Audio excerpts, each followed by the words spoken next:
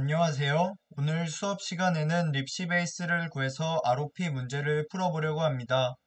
저는 아주대학교 사이버 보안학과 임준혁입니다. 오늘 수업의 목표는 ROP 문제를 풀기 위한 익스플로잇을 작성할 것이고요. 익스플로잇을 작성하기 위해서는 립시 데이터베이스를 이용해 립시 베이스를 구하고 그를 통해 ROP 문제를 풀 것입니다.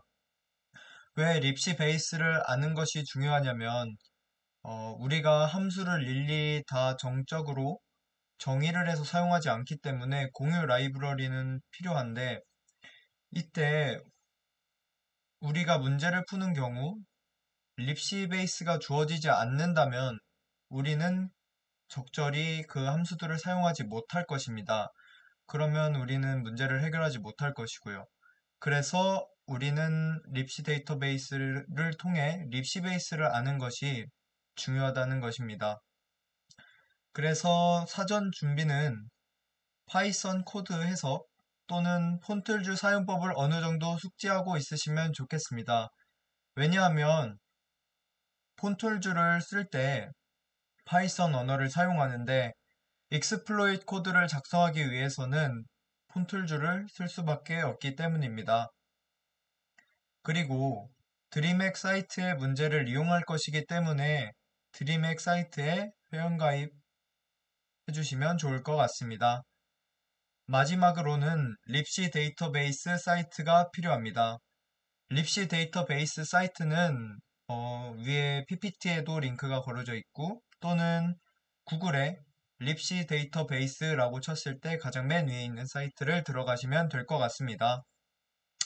그럼 문제를 풀기 위한 기초 지식에 대해서 설명해 드리겠습니다. 처음에 보안 공부를 하다 보면 버퍼 오버플로우를 배울 것입니다. 아마 간단하기도 하고 생각보다 간단한 취약적이기 때문에 컴퓨터 공부를 조금만 하셔도 쉽게 접할 수 있을 것이라 생각이 됩니다. 이 취약점은 카날이라는 기법에 의해 막아질 수 있습니다. 그중 쉘코드를 사용할 때 반환 주소를 임의로 덮을 수 있고 또 특정 버퍼의 값을 쓰고 실행할 수 있다면 쉘코드 공격이 성공적입니다. 이 중 후자를 막기 위해 NX 기법 그리고 ASLR 기법이 탄생했습니다. 이 방어 기법을 어떻게 공격할 수 있을까요? 그러기 위해서는 NX와 ASLR에 대해서 알아야겠죠? 일단 NX와 ASLR에 대해 공부해 봅시다. 아, 그 전에 우리가 뭘 알아야 하냐면 카나리에 대해서 알아야 합니다. 왜냐하면 카나리는 가장 간단한 공격을 막을 수 있는 보호 장치이기 때문에 좀 다양하게 많이 쓰이는 것이라고 생각이 됩니다. 스택 카나리는 함수의 프롤로그에서 스택 버퍼와 반환 주소 사이에 임의의 값을 삽입하고 함수의 에필로그에서 해당 값의 변조를 확인하는 보호 기법입니다. 카나리 값이 변조가 확인이 되면 프로세스는 정상적으로 종료되는 것이 아닌 강제로 종료가 됩니다. 여기서 함수의 프롤로그는 함수가 시작하는 부분으로 push rbp, move rbp, rsp를 하는 과정입니다. 그리고 변조 확인은 stack check fail이라는 함수가 합니다. 그래서 여기서 fail이 뜨면은 프로세스가 강제로 종료되는 것입니다. 어, 오늘 아마 실습할 문제에서는 카나리를 릭하는 부분이 없는데 카나리는 일단 시작 바이트가 널 바이트이기 때문에 그 부분을 적절한 오프셋을 이용해서 채워주면은 그 뒤에 7바이트가 그러니까 64비트 기준이죠. 7바이트가 출력이 됩니다. 그래서 그 값을 이용하면은 적절히 RET 부분을 가지고 여러 가지 공격 기법을 시도할 수 있습니다. 네, 다음으로는 ASLR에 대해서 설명하도록 하겠습니다. ASLR은 Address Space Layout Randomization의 약자로 스택, 힙, 공유 라이브러리 등을 임의의 주소에 할당하는 보호 기법으로 특정 버퍼의 주소를 알기 어렵게 해 쉘코드 기법을 사용하지 못하게 합니다. 아까 뭐라고 그랬죠? 쉘코드 공격을 할 때는 실행 권한과 쓰기 권한이 있는 버퍼의 주소를 알아서 이제 그, 그걸 RET에 넘겨서 쉘코드를 실행시키는 건데 ASLR 때문에 그 주소를 알기 어렵게 된다면 네, 방어할 수 있겠죠. 그리고 라이브러리가 이메일 주소에 매핑이 돼도 라이브러리 파일 내에서는 오프셋이 동일하기 때문에 라이브러리의 베이스 주소만 안다면 그 안에 있는 함수를 립시 베이스에다가 옵셋을 더해서 그 함수를 이용하는 형식을 통해 자유롭게 사용할 수 있습니다. 그래서 오늘 공부해볼 립시 데이터베이스를 사용하는 방법이 립시 베이스를 구하는데 큰 도움이 될 것입니다. 네. 한번 여기 적어 놓은 거 한번 천천히 읽어 보시고 네, 넘어가도록 하겠습니다. 네, 이제 ASLR에 대해서 배웠으니 NX, No Execute에 대해서 공부해 보겠습니다.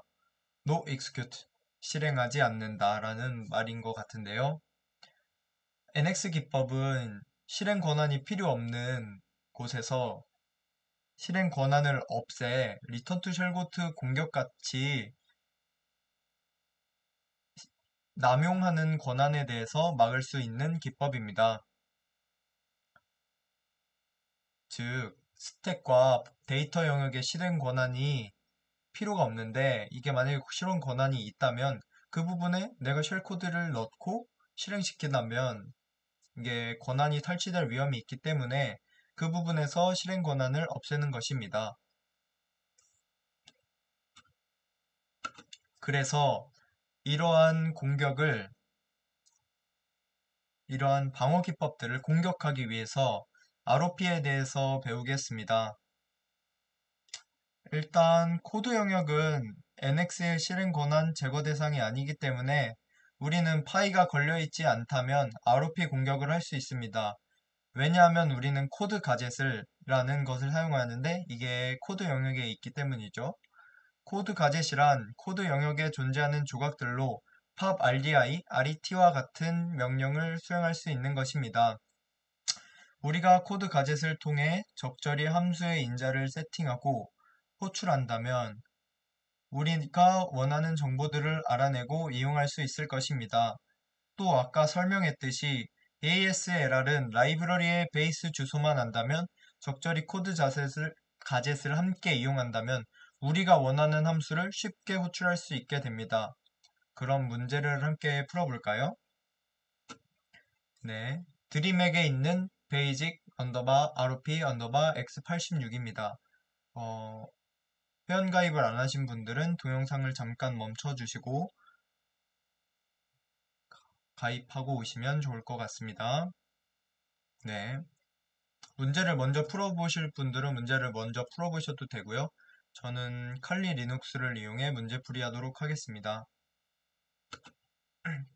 네.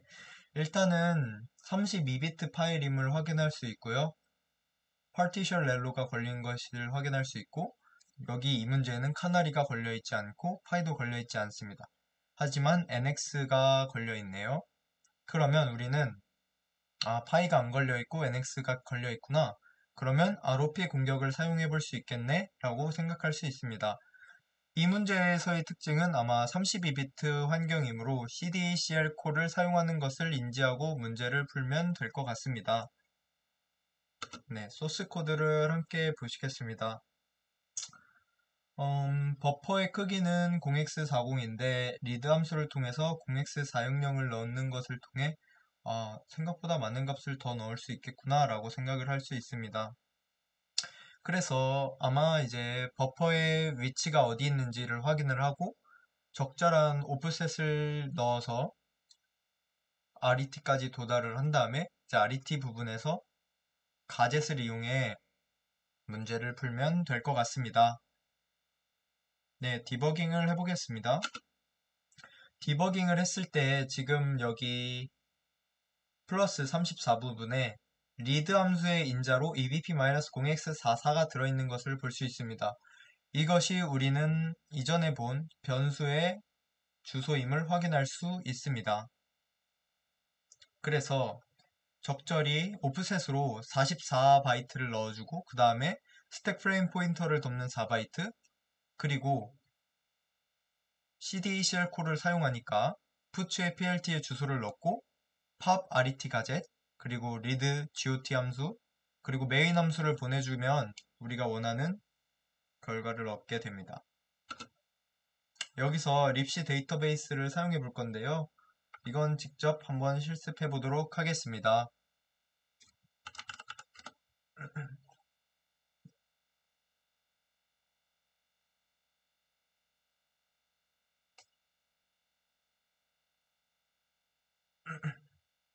네. 일단은 제가 익스플로이트 코드를 이렇게 구현해 놓은 상황이고요. 이제 보면은 그 네, 거의 다 구현해 놨는데 이게 지금 실행이 안 되는 상황입니다. 왜냐면 제가 립시 데이터베이스를 설정해 놓지 않을 것이기 때문이죠. 아까 말씀드린 과정에 대해서 다시 자세히 한번 설명해 드리면 오프셋 44개, 스택 프레임 포인터 덮는 거 4개, 그 다음에 푸츠 plt 함수를 리틀 엔디한 방식으로 그리고 팝 RET 가젯 그리고 리드 GOT 가젯 그리고 리드 GOT GOT 함수의 주소죠. 왜냐면 이제 이 의미가 PLT 함수의 인자로 read GOT를 넣어서 GOT 그러니까 read 함수의 GOT를 저희가 릭을 합니다. 그래서 여기서 real read라는 변수에다가 receive를 받고요. 그래서 print 함수로 이 값을 출력해 줍니다. 그러면 저희는 이 함수의 GOT를 알고 그를 통해 립시 베이스를 구할 수 있습니다. 한번 같이 해보실까요? 근데 일단은 여기서 리모트에서 드림에게 주소가 필요합니다. 잠시만요.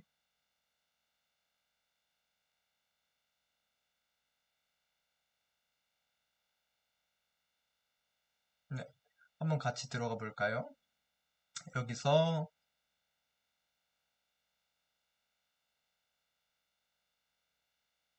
네. 접속 정보 보기를 누르면 네, 여기서 14526이라고 나오는 걸 확인할 수 있죠. 14526 네, 실행해 보겠습니다.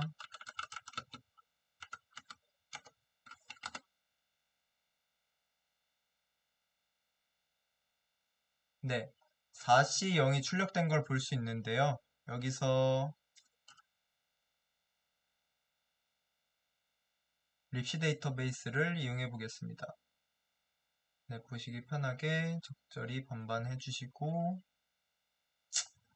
네, 그러면 우리가 아까 어떤 함수에 GOT를 출력했죠? 네, 리드 함수죠. 4C0 그러면 find를 눌러볼까요? 네, 생각보다 많은 음, 것들이 출력이 됐죠.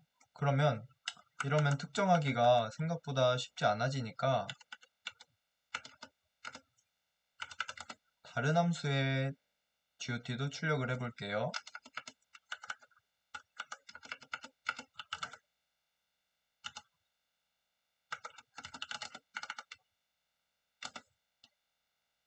네, 푸처스는 830 네, 이러면 네, 이렇게 좀 많이 범위가 줄어든 것을 알 수 있죠. 그러면 저는 이 중에서 왜냐면 저희가 i386이라고 아까 체크색에서 확인했기 때문에 이 세 개 중에 하나임을 확인할 수 있습니다. 그래서 저가 미리 이것저것을 해본 결과 네 립시 베이스는 이 마지막 부분 이 녀석인 것을 확인할 수 있습니다. 그러면 다시 주석을 여기다 걸고 립시 베이스를 한 다음에 그러면 이제 이건 정말 립시 베이스인 거죠. 거기다가 여기 시스템 함수의 옵셋이 0x47720임을 확인할 수 있습니다. 그러면 이 값을 더해서 시스템 함수를 구해주고 그리고 빈 sh도 적절히 오프셋을 이용해서 네 여기 있죠? 0x1b90fo 그래서 이걸 적절히 조합해 페이로드를 보내주면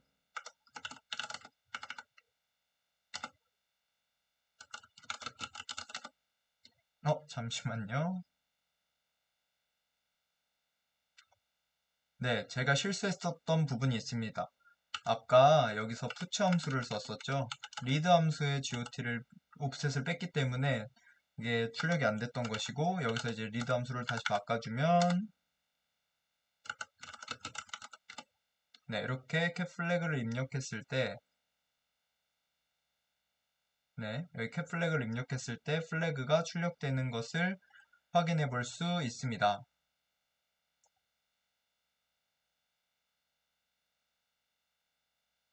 그러면 이제 전체 익스플로이트도 보여드렸고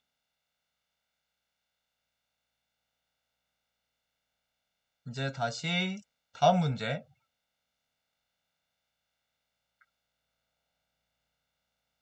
이 문제에 대해서 풀어보려고 합니다.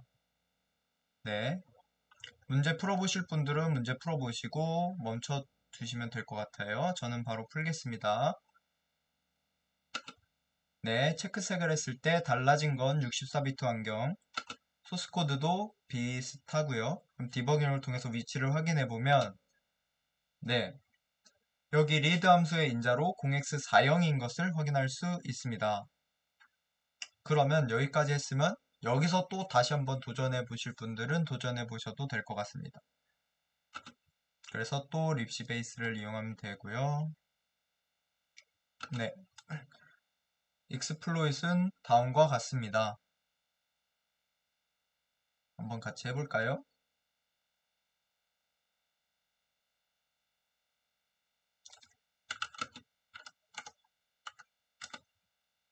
네. 그러면 일단 접속 환경부터 맞춰줘야겠죠?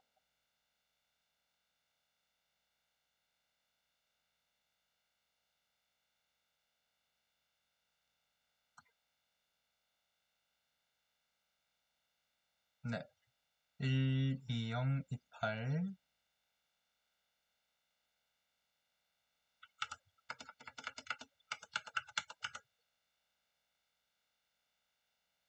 그리고 여기서도 마찬가지로 지금 립시베이스를 설정이 안 된 걸 볼 수 있죠.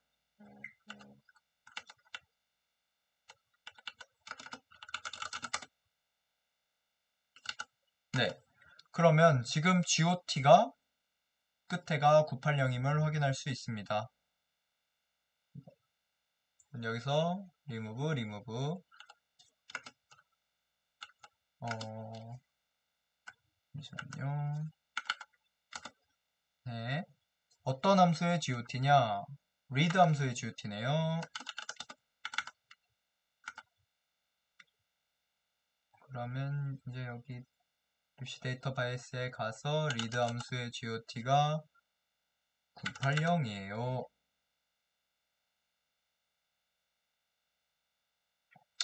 그리고 솔직히 한 번 더 해볼 필요가 없는 것 같죠? 여기 이미 나왔으니까 이 세 개 중에 하나인데 뭐 저 정도는 충분히 그래서 이 점을 이용해서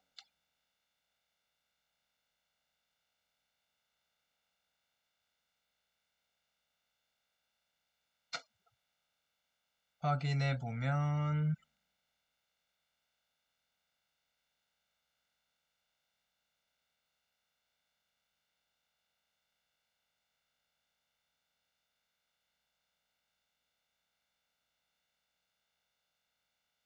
찾으셨나요?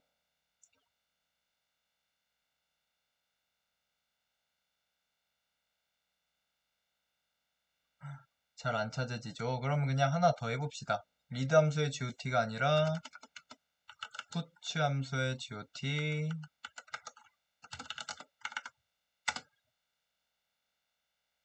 ed0이래요.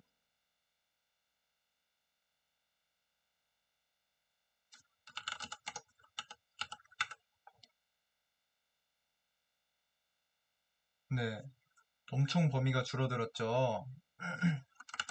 그럼 다시 이게 정확히는 원래는 이제 이게 립시 베이스의 뒤에 세 글자가 000이면은 충분히 잘 릭하신, 릭하신 건데 저는 시간 관계상 그 부분까진 보여드리진 않고 여기서 read 함수를 빼줘야 하니까 네, 이 녀석이었네요.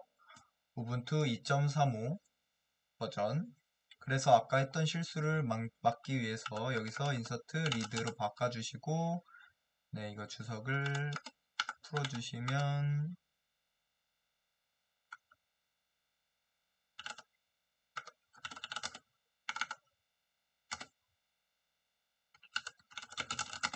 네 여기 이렇게 성공적으로 플래그가 나오는 것을 확인할 수 있습니다. 네, 립시 데이터베이스를 알면 함수의 GOT 주소를 통해 립시 베이스를 알 수 있다. 네, 두 가지 실습을 해봤고요. 도움이 됐으면 좋겠습니다. 이상입니다. 감사합니다.